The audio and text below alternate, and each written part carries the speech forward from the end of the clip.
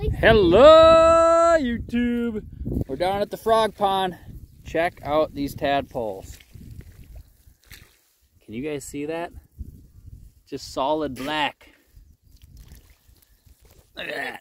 Millions of tadpoles everywhere. You can't, you can't count that. It was a good season.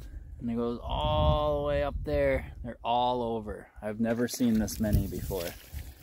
I don't know what kind of frogs they are. There's a lot of leopard frogs. There's a bullfrog. Bullfrog's jumping around. Kind of small for being bullfrogs though. There's some some larger ones you see occasionally, but I'm thinking they're leopard frogs and toads mostly. Pretty cool. Nice.